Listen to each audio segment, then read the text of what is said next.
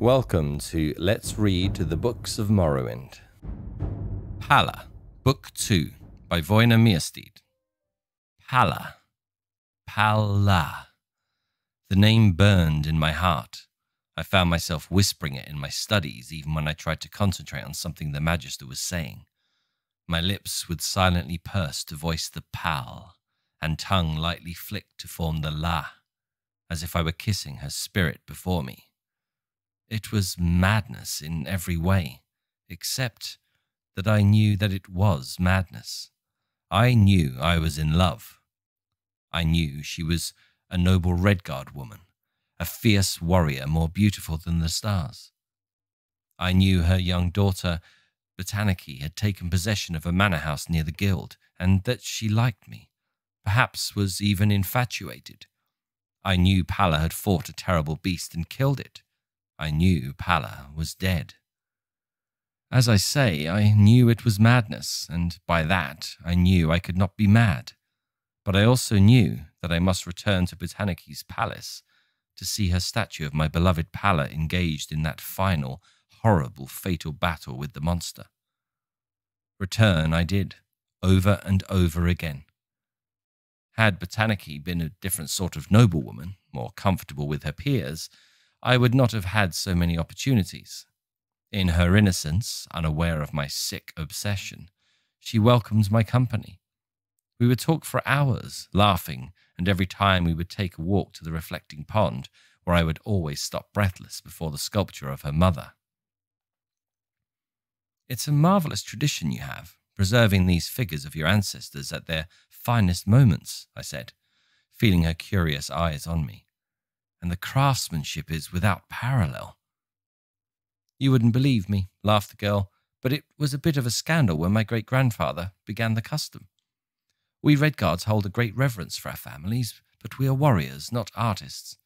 He hired a travelling artist to create the first statues, and everyone admired them until it was revealed that the artist was an elf, an Altmer from the Summerset Isle.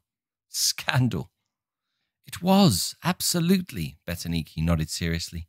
The idea that a pompous wicked elf's hands had formed these figures of noble Redguard warriors was unthinkable, profane, irreverent, everything bad you can imagine. But my great grandfather's heart was in the beauty of it, and his philosophy of using the best to honour the best passed down to us all. I would not have even considered having a lesser artist create the statues of my parents, even if it would have been more allegiant to my culture. They're all exquisite, I said. But you like the one of my mother most of all, she smiled. I see you look at it even when you seem to be looking at the others.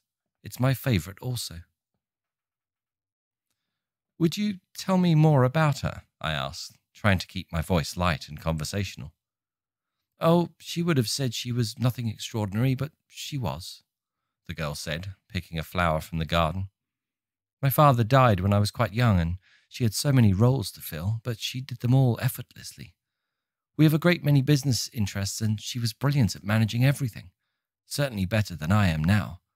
All it took was her smile, and everyone obeyed, and those that didn't paid dearly. She was very witty and charming, but a formidable force when the need arose for her to fight. Hundreds of battles, but I can never remember a moment of feeling neglected or unloved. I literally thought she was too strong for death. Stupid, I know, but when she went to battle that, that horrible creature, that freak from a mad wizard's laboratory, I never even thought she would not return. She was kind to her friends and ruthless to her enemies. What more can one say about a woman than that? Poor Botaniki's eyes teared up with remembrance. What sort of villain was I to goad her so? In order to satisfy my perverted longings. Sheogorath could never have conflicted a mortal more than me. I found myself both weeping and filled with desire. Palla not only looked like a goddess, but from her daughter's story, she was one.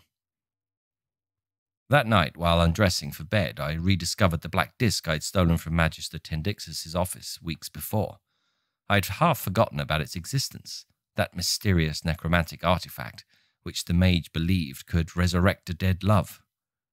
Almost by pure instinct, I found myself placing the disc on my heart and whispering, Palla. A momentary chill filled my chamber. My breath hung in the air in a mist before dissipating. Frightened, I dropped the disc. It took a moment before my reason returned, and with it the inescapable conclusion. The artifact could fulfill my desire. Until the early morning hours, I tried to raise my mistress from the chains of oblivion, but it was no use. I was no necromancer. I entertained thoughts of how to ask one of the magisters to help me, but I remembered how Magister Iltha had bid me to destroy it. They would expel me from the guild if I went to them and destroy the disc themselves, and with it, my only key to bringing my love to me. I was in my usual semi torpid condition the next day in classes. Magister Iltha himself was lecturing on his specialty, the School of Enchantment. He was a dull speaker with a monotone voice, but suddenly I felt as if every shadow had left the room and I was in a palace of light. When most persons think of my particular science, they think of the process of invention, the infusion of charms and spells into objects, the creation of a magical blade, perhaps, or a ring. But the skilled enchanter is also a catalyst. The same mind that can create something new can also provoke greater power from something old a ring that can generate warmth for a novice on the hand of such a talent can bake a forest black. The fat man chuckled. Not that I'm advocating that. Leave that for the school of destruction. That week, all the initiates were asked to choose a field of specialization. All were surprised when I turned my back on my old darling, the School of Illusion. It seemed ridiculous to me that I had ever entertained an affection for such a superficial charm. All my intellect was now focused on the school of enchantment, the means by which I could free the power of the disc. For months thereafter, I barely slept. A few hours a week I'd spend with Botaniki and my statue to give myself strength and inspiration. All the rest of my time was spent with Magister Iltha or his assistants, learning everything I could about enchantment. They taught me how to taste the deepest levels of magicka within a stored object.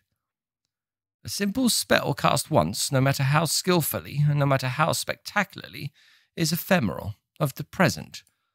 What it is and no more, sighed Magister Iltha. But placed in a home, it develops into an almost living energy, maturing and ripening so only its surface is touched when an unskilled hand wields it. You must consider yourself a miner, digging deeper to pull forth the very heart of gold. Every night when the laboratory closed, I practiced what I had learned. I could feel my power grow, and with it, the power of the disc. Whispering, Palla, I delved into the artifact, feeling every slight nick that marked the runes and every facet of the gemstones.